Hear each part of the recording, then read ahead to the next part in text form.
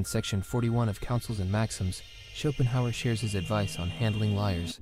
Here's what he suggests If you suspect someone is lying to you, act as if you believe everything they say. This approach will encourage the person to continue, becoming increasingly assertive in their falsehood. Eventually, they may go too far and reveal their dishonesty.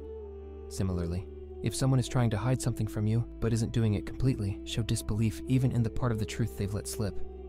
This reaction will frustrate them, and, in an attempt to prove you wrong, they may reveal more than they intended. Schopenhauer argues that opposing their partial disclosure can provoke them to unleash the full truth. Essentially, there are two tactics here for dealing with deceit. First, by pretending to believe a liar, you can push them to overextend themselves, ultimately exposing their lie. Second, if someone is holding back information but has let a bit slip, acting skeptical will anger them and compel them to reveal even more. In both cases, Schopenhauer highlights the way human social behavior works.